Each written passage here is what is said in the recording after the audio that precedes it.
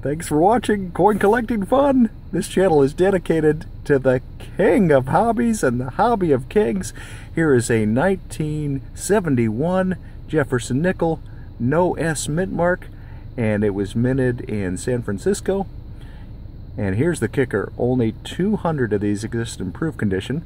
This is not one of them. This is an average circulated condition with a value of 5 cents for the face value and the numismatic value. And with 200 of these known to exist, if they are found to still be in proof condition, they are worth currently, at the time of this filming, which is November of 2018, $1,038.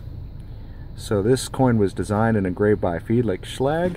It consists of 75% copper and 25% nickel.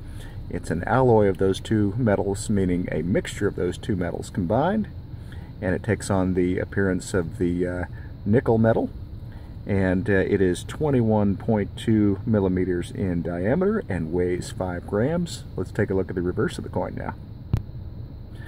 Thank you so much for watching. Please like, comment, and subscribe, and follow on Instagram and follow on Twitter at Coin Collecting Fun.